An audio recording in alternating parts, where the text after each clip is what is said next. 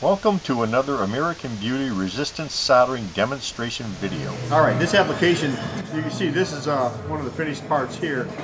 The one they sent is this one. You can see how discolored it is. And they're actually using uh, like a turntable, a turnstile, and a flame soldering device to do this. And they want to try and refine this, uh, be more efficient, and don't have this discoloring uh, aspect. So to give us several uh, samples to work with, we're going to try a couple of different hand pieces. We're using the uh, 105B2 power unit. What I'm going to do is uh, these little brass rods are 8 inch brass rods that are going into that, what I'll call it a bell. You want to clean that first, even though they look shiny. You want to make sure you get the oxides off there so the solder is going to properly wet to it. And what I'll do is I'll go ahead and put that part way into the cup for alignment, and then their fixture has a stop in it, so it's only going to go down so far. Now, they're currently using a soldering paste, and so we'll do this with the paste. We just want to put a little dollop of solder paste on there. We'll go ahead and put a little bit on both sides just so you get good saturation on it. Now we're going to do the first application using the 105-127 tweezer style handpiece and we've gone in and we've filed the electrodes so that it'll kind of match the diameter of that, of that hole okay? And that's going to give us a little bit better uh, thermal control and saturation into the post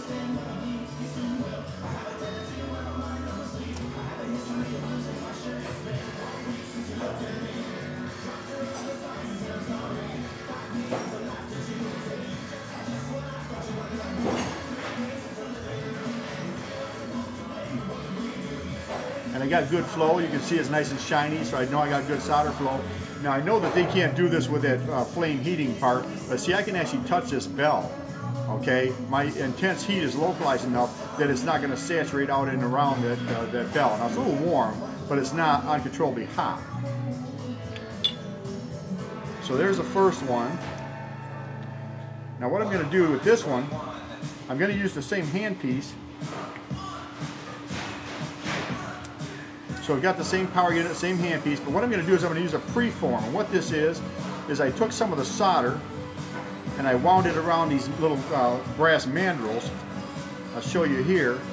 You just wind the solder around the piece that you're going to be using so it's the right size, and then you can just slide that off and clip those apart, and now you've got your own ready-made preforms to use. So we've got a preform on here. I think what I'm going to do is I'm going to go ahead and uh, going to go ahead and put this little bit of flux on there because there is flux inside of the solder, which is uh, rosin core solder wire. But I want just a little bit of flux right in the joint so that that's going to kind of help draw that uh, solder where I want it. When it first starts to, to melt, the uh, flux isn't necessarily going to be um, in contact with the material. So we add that little bit of flux there just to kind of help us along. Again, the same handpiece, the 105 127.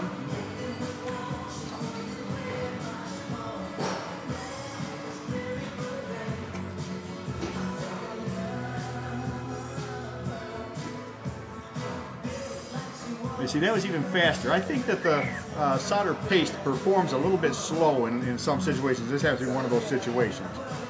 So we've got two of them done with that handpiece. Now what we want to do is we want to do the same application again, and we're going to use a different, a uh, little bit of a different setup. We're going to use a different handpiece. What I'm going to do, we'll set this off to the side. What I'm going to do is I'm going to take a return harness, this clip, and I'm going to put it on their fixture. So I've got some continuity here. Tighten this back up. Now what we're going to do is we're going to be able to use a single electrode style handpiece or probe system to do this same application. Okay, so we'll go ahead and put the brass rod in, locate that back on top, and we'll do the same thing. We'll start with the paste. A little dollop of paste, and a little more on the other side. Okay. And I'm using the same power setting that I did with the tweezer. I want to come in here and I, uh, same thing, got a little bit of a, a radius in the electrode to fit that, uh, that brass rod. Okay, there we go.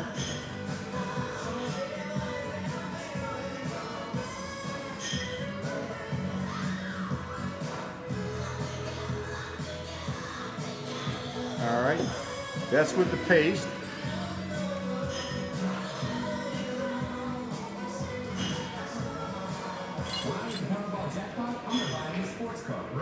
And we'll do another one. And this one again, we're going to use the preform on it.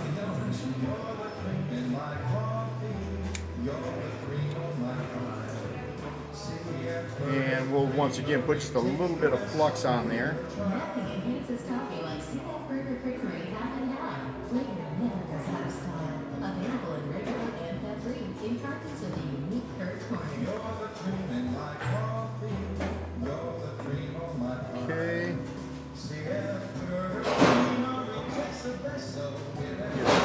Down there where we want it. so big it can only happen once a year for one day. This is the time. This is that percent 2016. Get here early Friday, 6 to 9, and you stay. Plus, zero percent till 2016. Get here early Friday, 6 to 9, and Saturday 9 And that's probably just about as fast as you can do that You can type an application.